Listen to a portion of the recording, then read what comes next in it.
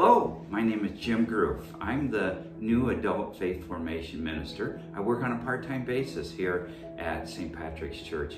I am so excited to be a part of this ministry team here. Um, I just think the potential is unlimited. What we're what we want to do with adult faith formation is is is find ways to uh, to serve our adult population better, to provide uh, many ways that they can connect with their faith and connect with each other too, as well as connecting with our church. Uh, a little bit about me. My wife is Nancy. She and I uh, just celebrate our 28th year anniversary, and uh, we have uh, six children. We've been members of St. Patrick's Parish for almost 21 years. Uh, essentially, our children grew up in the parish.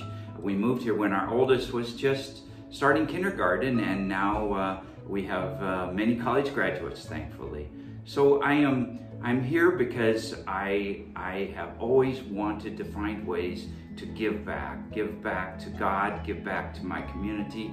Um, ever since I was a kid, I felt a calling that I need to to help others. So over the last uh, 21 years. Um, thankfully, we've been very involved in the parish, and I look forward to many, many more years serving our parish. Anyways, my name is Adam Stevenson, and I used to be the youth minister here. Um, no longer the youth minister here. We get a new youth minister, as I'm sure you guys will see in the other video. Um, I didn't move buildings or churches. I still work in the same church, in the same building, just a different office. I work over here with, with our new hires, Johnny and Jim. And Jim and I both work with adults. Um, maybe my focus will be a little bit more with young adults. And I think it's really going to be good, something that I've been thinking about for a long time and talking with different leaders in the youth ministry program is trying to move along with those kids that I've known for a long time. I think it's always a challenge, especially as we get a little older. And I don't know if you guys can see with this new lighting we got, but I got a little gray in my beard right here. And maybe the kids don't think I'm as cool as they used to, if they ever did. So I think that it's nice to be able to move along with these kids that you know instead of trying to, to get to know new kids all the time and all the newfangled TikToks that they're up to.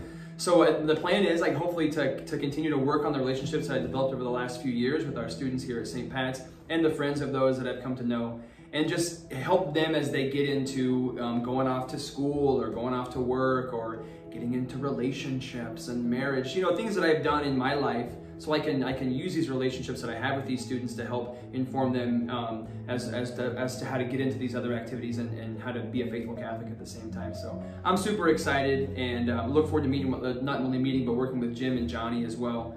Um, so it's going to be a great time and I'm super excited for what we're doing at St. Pat's. It's been a long time coming and it's going to be great. So God bless you guys. Well, hey there, St. Patrick's family. I know I'm a new face to you, but praise God because I am so excited to be with you. My name is Johnny Murray, and I'm the new youth minister here at St. Pat's. Um, I'm thrilled to be able to work with you all, and I look forward to getting to know you all better. I am born and raised here in Omaha, Nebraska, graduated from Burke High, and from there went on to UNO and studied marketing and music. The past couple years, I spent my time working in the radio industry, and then praise God, to make a long story short, he led me here. I felt called to youth ministry, and I look so excited to sharing the love of Christ with you all. Um, have a bit of a long story too. I'm a Catholic convert, but if you want that long story, take me out to coffee or something. Would be love to tell you that sometime. But we have a lot of exciting things coming up here this fall at the, for the St. Pat's Youth Ministry, and I'm excited to get things rolling. Our faith formation team has been putting in some hard work, and God is on the move. Big things are happening, and so praying for you all. Look forward to getting you to know you all better. Thank you all for having me, and let's make some let's make some big things happen for the kingdom.